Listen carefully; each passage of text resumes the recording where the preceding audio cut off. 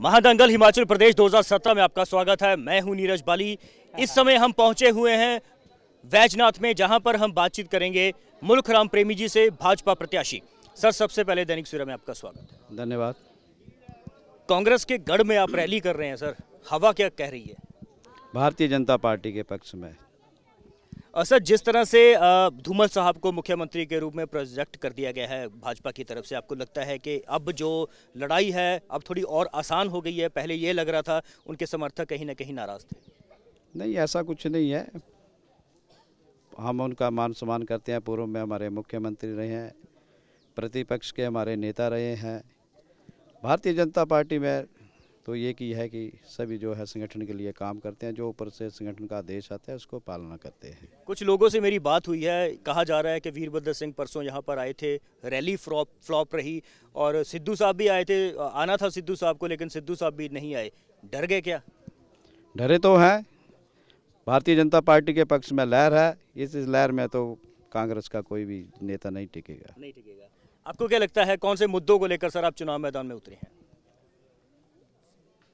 सबसे पहले तो यहाँ है कि जो लोगों की जो मेन समस्या है, सड़क, पानी और जो आवारा पशुओं, जो सबसे बड़ा एक प्रकोप बना हुआ है। तो जो सिंचाई जो कुल्ले बंद पड़ी हैं वर्षों से, आज दिन तक लोगों को सिंचाई के लिए पानी नहीं, पीने के लिए पानी की व्यवस्था ठीक नहीं, सड़कें ठीक नहीं। तो मैं चाहता हूँ कि किस इससे जो है कांग्रेस को मत देंगे। तो यही मेरा मानना है और पर्यटन की दृष्टि जो मेरा मुख्य ये है कि पर्यटन की दृष्टि से बैजनाथ को संभाला जाएगा, जिससे युवाओं को रोज़गार मिलेगा। ये मेरा जो है। युवाओं की सर खास तौर पर बात करें तो युवा युवा वर्ग जो है वो हमारा जो वीडियो है, हमारी इंटरव्यूज़ हैं वो स्पेशली वो ज़रूर देखना पसंद करते हैं।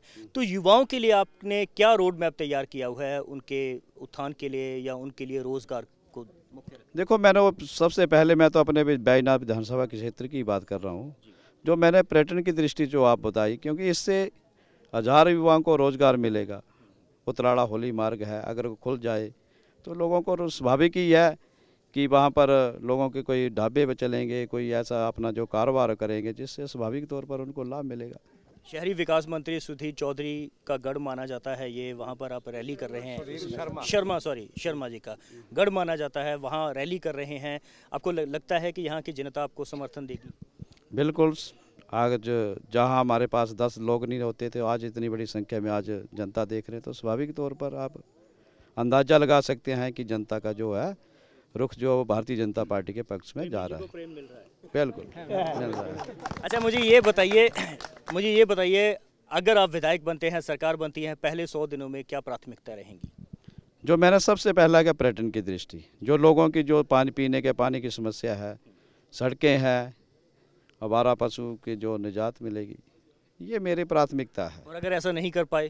नहीं ऐसा क्यों नहीं होगा? कौन सा ज़िंदगी में ऐसा काम है जो ना हो सके? कांग्रेस नहीं कर पाई।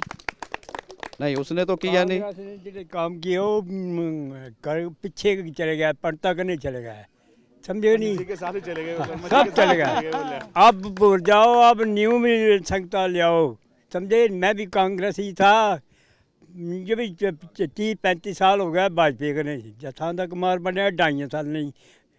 चले पंग हो गई है ਉਹ ਥਾ ਪਾਲਾ ਦਾ ਕੂਦਾ ਹੈ ਦਾਰਾ ਦਾ चलिए ठीक है जी आप मुझे थोड़ा ये बताएं अपनी जीत को लेकर पूरी तरह से आश्वस्त हैं मैं स्वस्थ हूँ तो ये थे प्रेमी जी जिन्होंने कहा है कि यहाँ की जनता से इनको प्रेम मिल रहा है अब देखना दिलचस्प होगा कि ये जो प्रेम है वो वोटों की गिनती में तब्दील होता है या नहीं कैमरामैन वीरेंद्र मेहरा के साथ मैं नीरज बाली दैनिक सवेरा टीवी वैजनाथ